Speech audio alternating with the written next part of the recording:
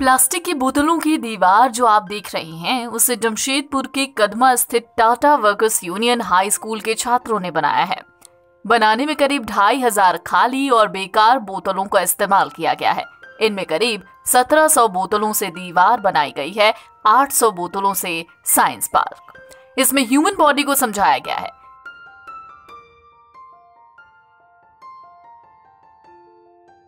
यही नहीं, पार्क में एंट्री करते समय एक सिंबॉलिक आदर्श विद्यार्थी का स्टैचू भी बनाया गया है।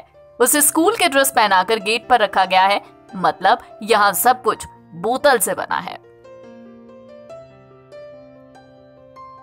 पिछले साल कोविड के बाद जब विद्यालय खुला तो विद्यालय में गंदगियाँ थी और उसमें जो सबसे प्रमुख गंदगी थी वह थी प्लास्टिक बॉटल्स की क्योंकि बाहर से लोग आते थे यहाँ उपयोग कर फेंक कर जाते थे।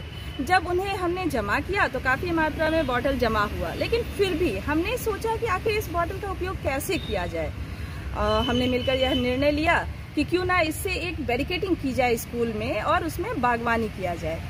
तो आ, पिछले साल इस साल मार्च से लगभग हमने यह बॉटल इकट्ठा करना शुरू किया और इसमें इनर व्हील क्लब ने भी हमारी मदद की और लगभग ढाई हज़ार बॉटल का उपयोग हम इस पार्क में अभी तक कर चुके हैं। इससे बाउंड्री भी बनाया गया जिससे कि बागवानी की जाए तो वह सुरक्षित रह सके और साथ ही साथ एक काफ़ी इनोवेटिव सोच हमने यहाँ डेवलप किया है। आमतौर पर इस तरह के काम में दो से ढाई लाख रुपए खर्च होते हैं, लेकिन स्थानीय स्वयंसेवी संस्थाओं के सहयोग से बच्चों ने करीब सात महीने में पार्क को बना दिया। इसे तैयार करने में नौवीं और दसवीं के छात्रों और छात्राओं ने मदद की।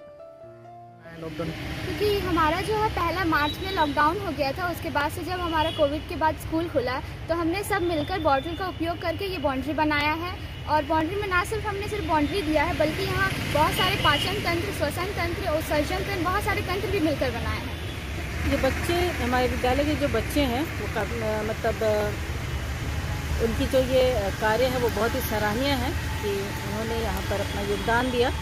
और ये हमारे विद्यालय के द्वारा बच्चे ये संदेश दूसरों को पहुँचाना चाहते हैं कि प्लास्टिक जो है उसका प्रयोग किस तरह से हम कर सकते हैं और ये बहुत ही सराहनीय कार्य है।